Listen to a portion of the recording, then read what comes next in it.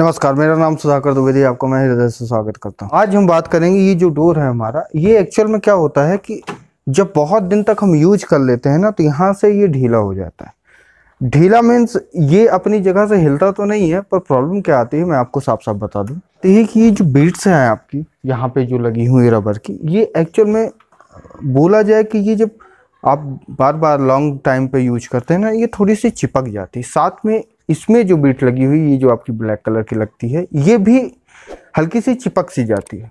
उसमें क्या होता है, थोड़ी सी ढीला हो जाता है और साथ में मैं आपको वीडियो में आगे चल के भी दिखाऊँगा, पर अभी भी अब इंट्रोडक्शन दे रहा हूँ, इसलिए मैं आपको बता दूँ। यहाँ पे जो लॉक लगा हुआ है, ये एक्चुअल में क्या होता है कि कट जाता है यहाँ से। मैं आपको दिखाऊँगा आगे चल के। उसके कारण भी हमारी गेट में खड़खड़ाहट की प्रॉब्लम आती है।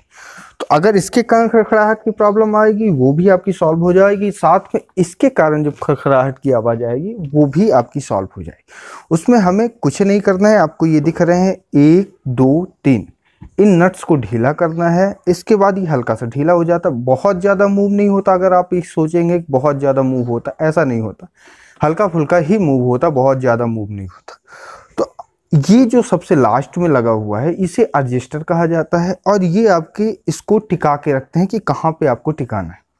तो इसी से हम इस गेट को एडजस्ट करेंगे। ये जैसा मेरा गेट है, ये अभी तो पूरा नहीं बंद हुआ। अगर मैं इसको और तेज से बंद करूँ तो ये आपको दिखेगा कि ये पूरी तरह से बंद हो गया, क्योंकि फ्लैट हो गया। जब भी आप गेट चेक करें ना, जब ये फ्लैट हो जाए, या फिर थोड़ा सा इस बीम से अंदर की ओर चला जाए तो ये समझ जाइए कि आपका गेट बंद हो चुका है। अभी क्या हो रहा है कि ये अभी गेट बंद है। गेट बंद है, फिर भी इसमें खड़खड़ाहट की हल्की सी आवाज़ आती।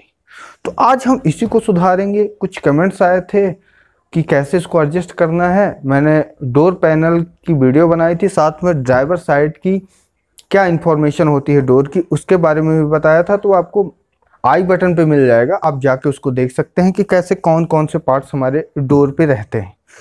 तो उसके साथ ही आज हम ये चेक करेंगे कि इसको कैसे एडजस्ट किया जाता है। उसके लिए आपको कुछ नहीं करना है। एक पेचकस लेना है स्क्वायर वाला, जिससे आप इसको, जिससे आप इसको ढीला कर सके। दूसरे में आपको प्लास चाहिए। प्लास क्या होता है कि इसको कभी आपको आगे की ओर खींचना है या पीछे की ओर धकेलना है। जनरली लोग क्या करते हैं कि पेचकस से ऐसे खींच खींच के मारते हैं। वो थोड़ा सा मेरे को रिलायबल नहीं लगता। इसमें कहीं कहीं स्क्रैच लग जाते हैं। वो थोड़ी सी मेरे को अच्छा नहीं लगता इसलिए हम प्लास का यूज़ करेंगे।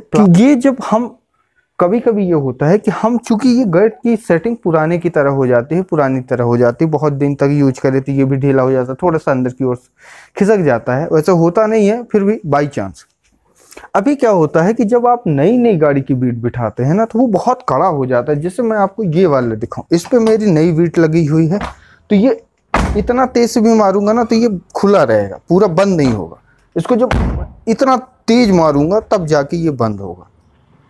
तो अगर आपका रबर साइड है, ये अगर नई लगी हैं, बीट्स लगी हैं तो आप इसको ढीला करके थोड़ा सा और ढीला कर सकते हैं, जिससे कन्वीनियंट हो जाए, और ज़्यादा अच्छे आपके लिए हो जाए। क्योंकि फिर आप बार बार तेज तेज से अगर नई बीट लगाएँ बार बार तेज से आप इसको बंद करेंगे ना तो क्या है कि ये जो आगे की ओर हिंचेस लगे हैं, इसमें मैं आपको दिखा देता हूँ। ये जो हिंचेस लगे हैं ना जिस पे गिट टिका रहता है, इनके थोड़ा सा ढीले होने के चांसेस रहते हैं।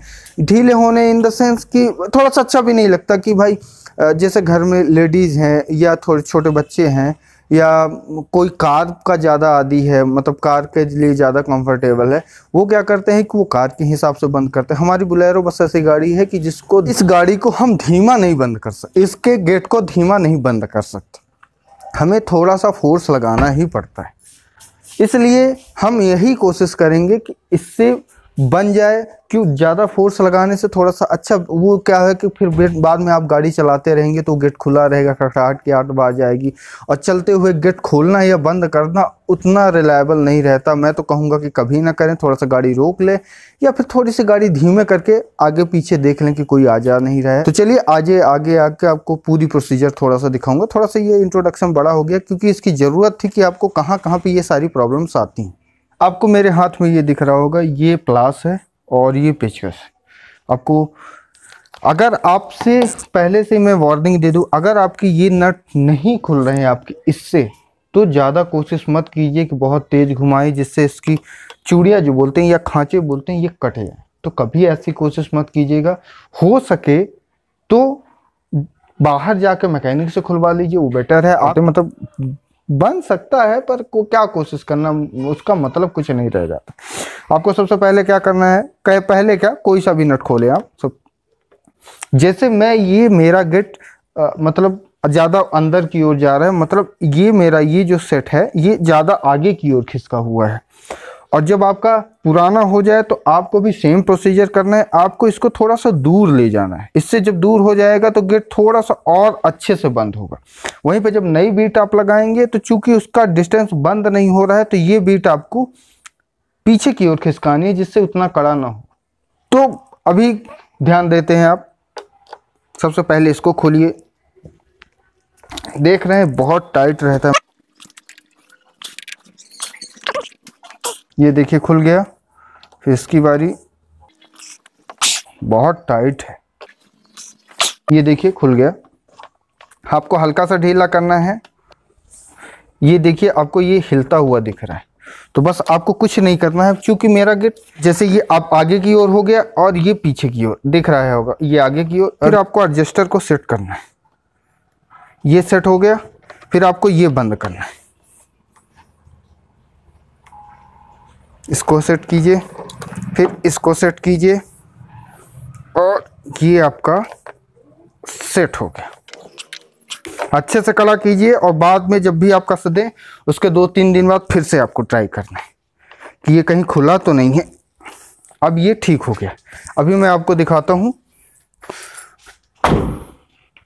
देखिए, अब ये बैठ गया है, पर हिल नहीं रहा है। ये बिल्कुल हिल नहीं। ये देखिए, ये बिल्कुल ठीक से हो गया। अब बात करते हैं कि ये जो है, ये आपका, ये देखिए मेरे में हल्का सा स्क्रिच आपको लगा हुआ दिख रहा है ना? ये स्क्रिच जब लग जाता है, ये बहुत सारे कट जाते हैं, काफ़ी ज़्यादा कट जाते हैं तो आपको कुछ नहीं करना है इसको बदलवाने की ज़रूरत नहीं है, ये आपको स्टार वाला दिख रहा होगा।